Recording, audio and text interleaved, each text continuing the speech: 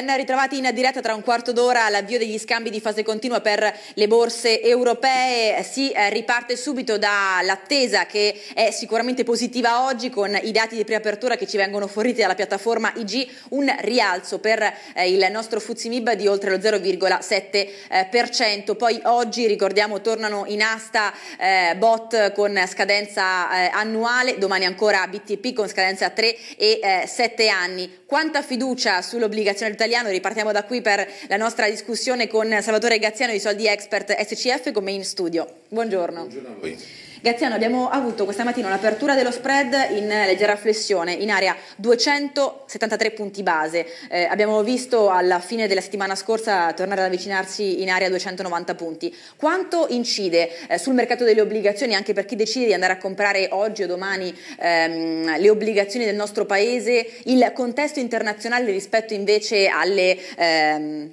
fonti di incertezza come quella di Banca Italia che abbiamo visto in queste ultime giornate?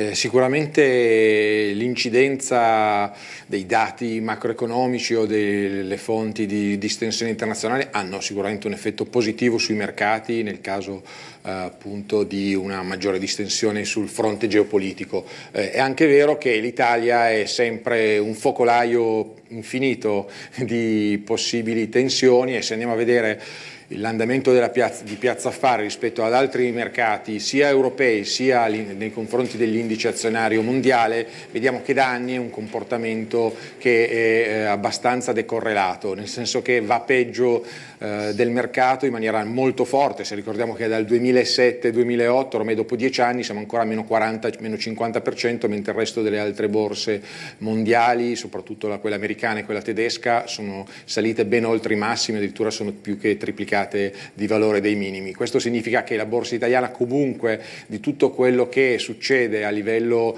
interno, dalla crescita del PIL che è di 20 punti più bassa di altri paesi europei in questi ultimi dieci anni, a tutte queste fonti di preoccupazione sul fronte del debito pubblico, delle banche, inevitabilmente questo chiacchiericcio che tale non è perché poi si riverbera sui conti delle aziende Italia e molto spesso anche sulla competitività delle aziende italiane, un suo percorso perché ce l'ha e non a caso se andiamo a prendere l'indice azionario mondiale, Piazza Affari oggi pesa all'interno dell'indice MSC World poco meno dell'1%, mentre nel 10-15 anni fa era del 2-3%, quindi eh, dobbiamo tenere certamente conto dei dati positivi che riguardano l'azienda mondo, ma l'Italia sicuramente non, va non vanno mai trascurati anche i segnali di debolezza, i punti deboli che Piazza Affari non tanto ha nelle sue aziende quotate che spesso hanno una quota quota di export sono delle vere aziende gioiello, soprattutto nel Midex ce ne sono molti casi, ma le aziende molto legate al mercato interno sicuramente risentono di questa situazione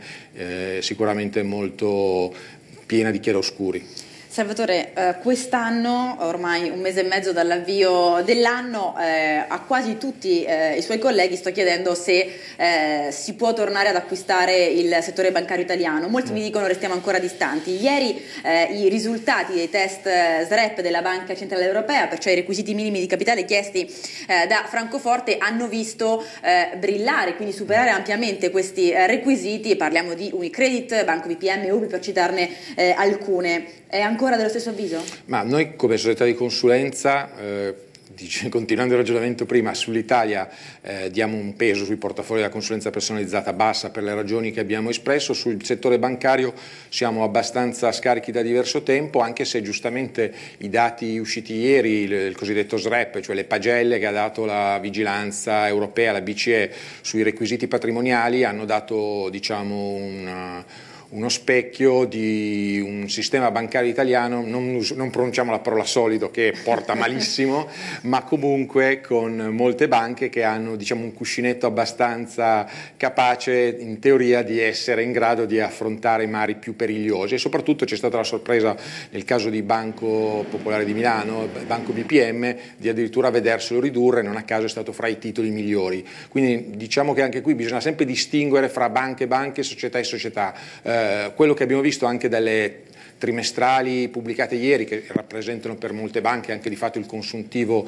2018, bisogna appunto anche lì andare a vedere fra banche e banche, perché per esempio quello che ieri ha colpito, ma non solo da ieri, è che ci sono all'interno del sistema bancario italiano diversi modelli di business, fra banche specializzate nel risparmio gestito, che hanno determinati redditività e hanno quasi zero sofferenze, o anche banche che si sono specializzate in questi anni nei cosiddetti non performance loans, nel cercare di andare a fare il recupero crediti. Ieri abbiamo visto i dati eh, di Banca Ifis che è stato fra i titoli migliori con un rialzo a doppia cifra perché eh, rispetto al trimestre precedente ha più che raddoppiato l'utile, del, anzi più 150%, con un utile netto di 150-160 milioni di euro e parliamo di una banca che in questi anni è letteralmente decollata rispetto a 10-15 anni fa proprio perché ha saputo fiutare il tempo e capire che la banca tradizionale non poteva magari reggere più ma puntare su altri meccanismi, su altri mercati, dalle sofferenze piuttosto che al factoring o puntare sulle imprese, sulla tecnologia.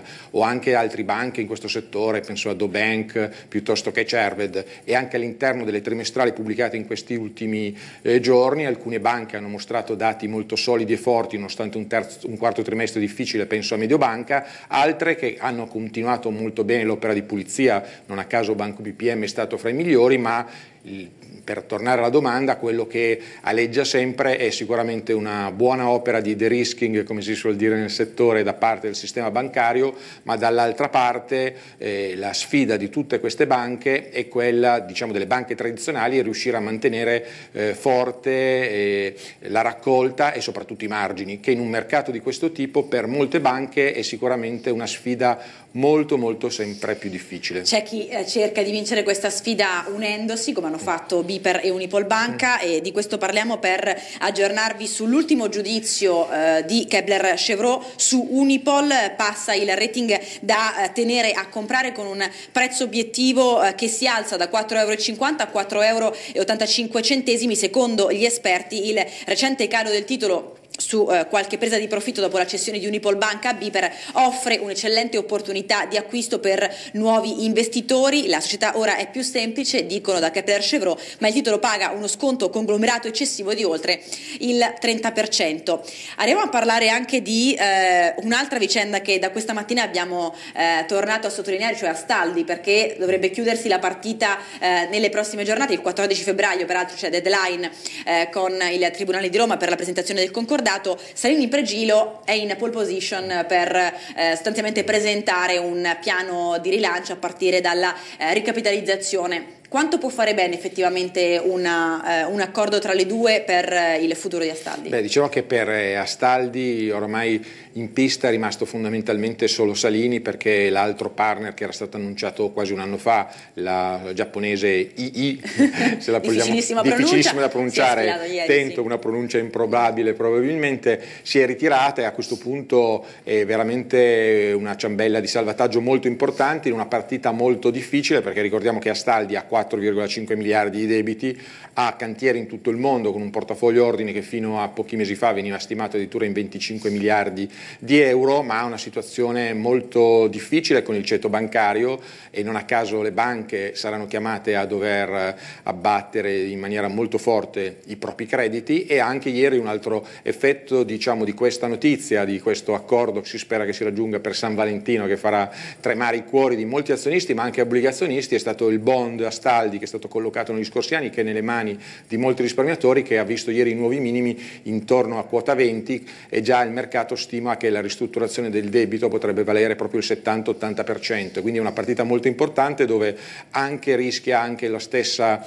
eh, Salini in pregilo perché la partita Astaldi è una partita molto grande, molto grossa e anche eh, deve cercare di eh, trovare di gestire la situazione senza danneggiarsi troppo perché se dovesse entrare in quota troppo significative dover consolidare il debito sarebbe sicuramente un grosso problema per eh, Salini in pregio che non a caso si pensa ormai in un'operazione in due round dove coinvolgere anche Casa Depositi e Prestiti e cercare di creare una sorta di campione nazionale come esiste in Germania o in Francia nel settore delle, delle grandi costruzioni. Quindi è una partita molto difficile, molto complessa che anche qua insegna a molti risparmiatori che magari erano stati attirati da staldi sia le azioni sia molto spesso dalle obbligazioni che talvolta quando le società iniziano a mostrare prezzi in caduta, il tentativo di molti risparmiatori di buttarsi sui bond perché rendono molto o sulle azioni che più di così non possono scendere, invece un approccio sia basato sui fondamentali sia dal punto di vista quantitativo è il migliore che la fuga, i piedi, come dici, votare coi piedi talvolta è il modo migliore uscire per evitare di cadere in situazioni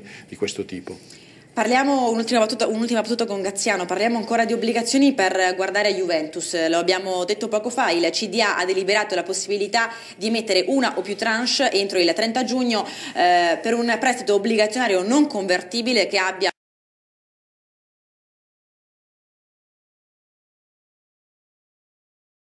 valore nominale complessivo eh, compreso tra i 100 e i 200 milioni di euro con collocamento riservato a investitori qualificati. Che significato ha questa operazione? Ma da una parte mm, non mi stupisce perché di fatto ormai Juventus, mentre in Italia un po' consideriamo i titoli del settore calcio eh, quasi delle scommesse come fossero corse dei cavalli, in realtà eh, Juventus rispetto a competitor, penso Manchester, piuttosto di altre società quotate, ormai è entrato nel mirino anche di investitori internazionali, quindi non mi stupisce anche il fatto che l'emissione è prevista per investitori qualificati, perché di fatto eh, molti investitori esteri considerano ormai la società calcistica di fatto una proxy, qualcosa di simile a delle società media, perché producono fondamentalmente contenuti che vanno sui smartphone, vanno in tv e che eh, questi flussi sono previsti in grande crescita in tutto il settore sportivo, altro caso clamoroso in questi anni, anche persino la società che produce il wrestling ha avuto delle ascese incredibili, quindi vi è da parte di molti investitori il riconsiderare i rating e i multipli di queste società